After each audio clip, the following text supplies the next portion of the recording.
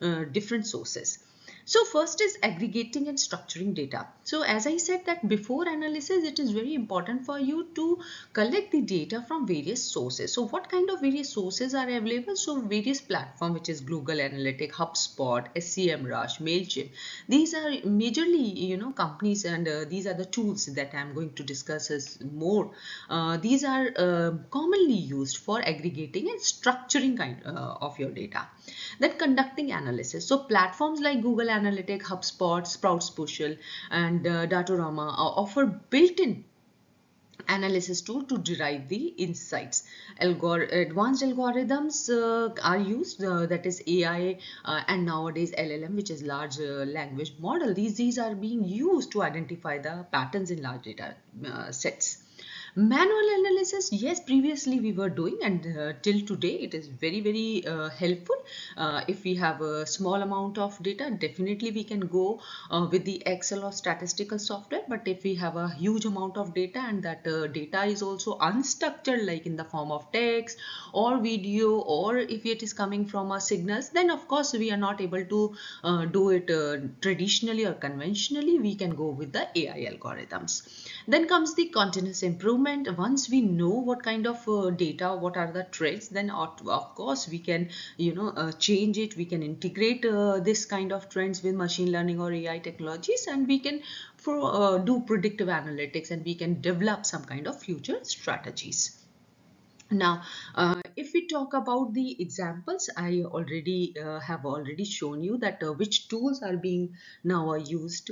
One is the aggregating and structuring uh, Google Analytics, which is free also. And if your company has this Google Analytics page, of course, you are able to uh, check the data about your website traffic, user behavior, conversation, and uh, it aggregate this data into customizable reports.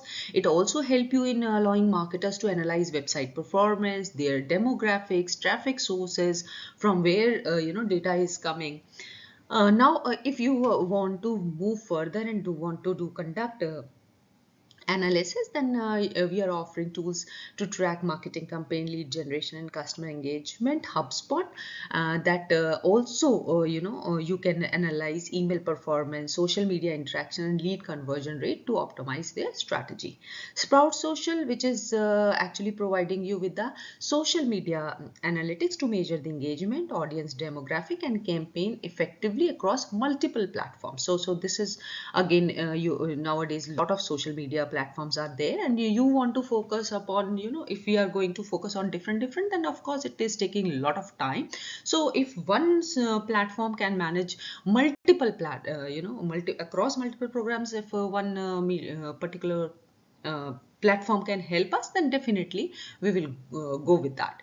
So marketers can identify top performing content, monitor brand mentions and track followers growth you as i said you can go with the microsoft access to analyze your importing data sets and performing uh, you know calculation sorting and filtering. And they can create pivot table charts and graph to visualize trend compare metrics and identify patterns in marketing data then comes the continuous improvement. So uh, now uh, latest one is uh, datorama which uses ai powered analytics to analyze large data sets. And uh, that also help us to uncover uh, you know various actionable insights and predict future trends. So marketers can leverage machine learning algorithm to optimize and target personalized content and forecast customer behavior as well now uh, moving ahead and uh, now let us talk about what are the various tools and technologies in marketing analytics so uh, marketing analytics we already know it is a process of collecting analyzing and interpreting data to get the insights uh, into the marketing performance consumer behavior and market trends. Now what kind of uh, tools and uh, techniques that we can uh, utilize uh, to you know make it more effective to make our strategies more effective? One is crm and dmp system. So this that is customer relationship management and data management platform these are central repositories for organizing and managing customer data and CRM focuses on customer interactions and sales lead while DMP aggregate data from various sources for audience segmentation and targeting. Now uh, if you see the uh, features So uh, centralizing customer data across multiple touch points, segmenting customer based on demographic behavior and preferences and personalizing the customer campaign and messaging. So uh, if you see these are the marketing. So companies have already uh, developed or established their crm uh, uh, you know tools. And uh, most of the if you have listened most of the companies uh, says that we have salesforce crm or hubspot crm uh, if we are talk about the dmp then adobe has a, a, audience manager. So adobe audience manager which is a very popular dmp is also there.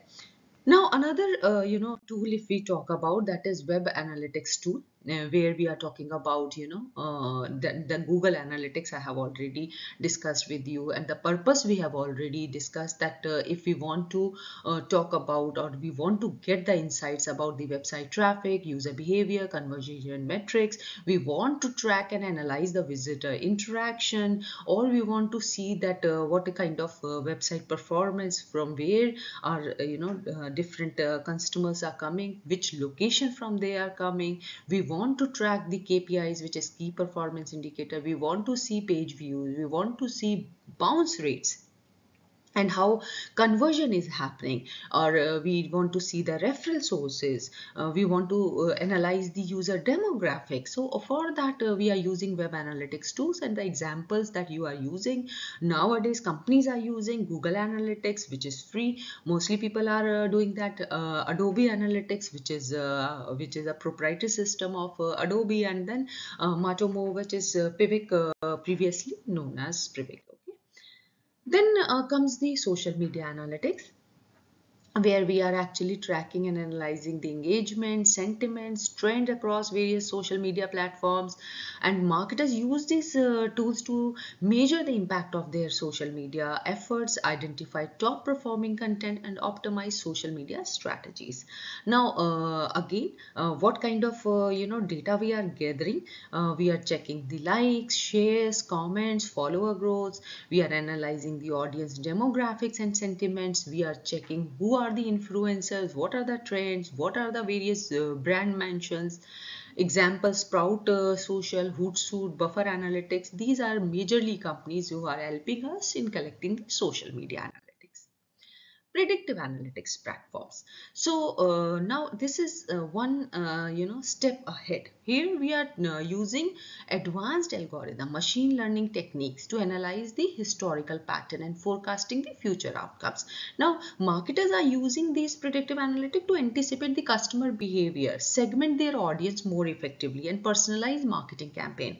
Now how, what are the features? Analyzing the historical data, past data we are actually to find out some kind of a patterns or trend and uh, now uh, based on that we can predict the customer lifetime value we can check the churn rates we can find out their purchasing behavior and also we can optimize the marketing campaign and resource allocation the companies which are using so IBM Watson Analytic RapidMiner SAS Predictive Analytics these are the various platform by which you can actually utilize these uh, kind of uh, you know algorithms to find out or to find out the insights and find out the future patterns.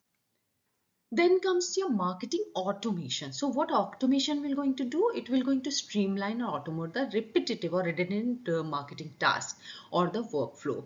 And it also help the marketer to nurture the leads, personalize any kind of communication and track the campaign performance more effectively. Fine.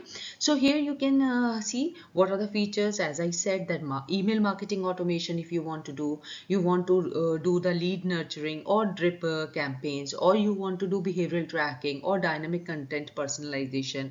You want to integrate with the CRM system for seamless data synchronization.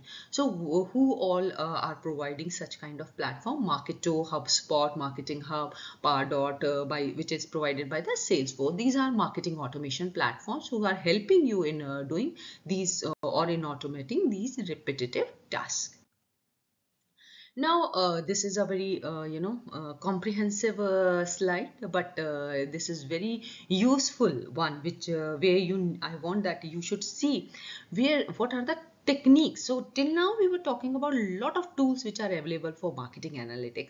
This slide is actually related to the techniques. So uh, you see that uh, how many techniques are there? Descriptive analytics, predictive analytics, customer segmentation, A-B testing, sentiment analysis, ROI